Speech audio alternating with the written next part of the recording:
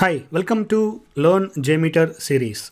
In this episode, we are going to see about random variable in JMeter. In last episode, we have seen about CSV dataset config where you'll be able to parameterize your test plan for your data-driven testing.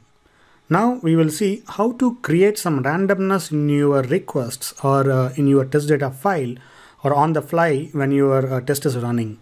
There are multiple ways you can generate the randomness in your JMeter.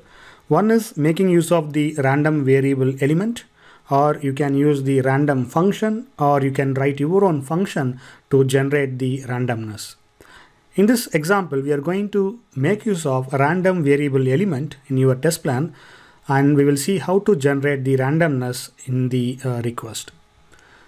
You can add the random variable either to your test plan level or you can add it under your thread group. First, let us add a random variable under test plan by right clicking on the test plan, add config element and at the bottom you can see random variable. This will bring up the uh, random variable element properties. The uh, key thing here is to uh, you need to add the variable name that is mandatory and the uh, format string uh, that is uh, uh, optional. And minimum value uh, it is mandatory and maximum value it is mandatory. Seed is uh, optional again and uh, the options per thread that is, this is mandatory. So by default it goes to false. First let us see the variable name. So assume that you are testing a web application where you want to enter some random unique string. And how do you generate it on the fly? So before you start generating, you have to give a name for the uh, value. So let us give say uh, user name. So this is my variable name, which will I will be using in the subsequent uh, elements. And once you enter the variable name, uh, you have to enter the output format. So in which format I want to uh, add, in which format I want to generate the value. So in this case, what I'm going to do is I'm going to repeat the username and I am going to add an hyphen and uh, let me generate some three digit uh, number. So what it will happen is it will generate a string along with username hyphen and some random uh, number. So for the random number, uh, what I'm going to do is I'm going to mention to JMeter uh, in the minimum value you can start with 100 uh, and maximum value you can end in 999. So this is my minimum value and the maximum value. And next is seed for random function. So this is completely optional, but if you want to uh, give a seed, so seed means in this context, uh, the uh, starting value, the first value, uh, what it should use. So for example, if I enter uh, say 150, then JMeter will generate um, the first value should be uh, greater than 150. So these are the settings you have to fill it and uh, make sure you are using the right options whether you want to generate per thread or uh, not. So in this case, uh, by default it is false. So generator, uh, it will be shared among all the threads in the thread group. So let us go with uh, false.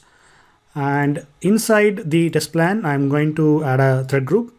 And inside the thread group, I am going to add a dummy uh, sampler.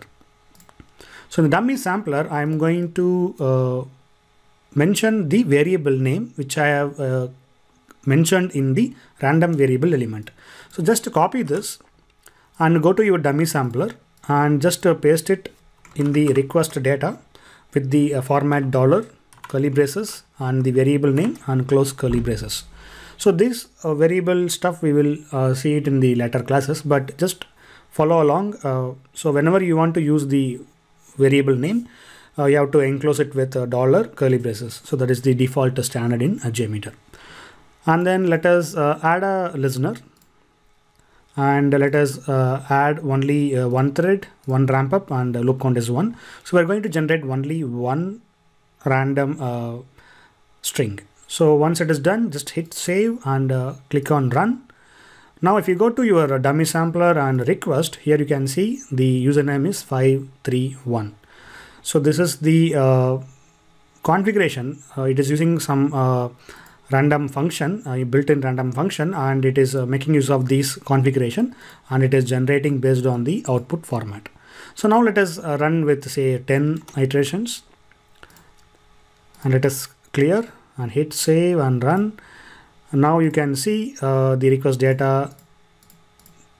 with the three random numbers so this is how you will generate the uh, randomness in your test plan so that uh, you can generate it on the fly and then you can make use of it that's it guys from my side if you have any questions please let me know in the comments and uh, please feel free to ask any questions in the community.qainsights.com or you can check in the comment section. So this test plan is available in the GitHub. The link is in the description. So please check it out and uh, have a great day and stay safe.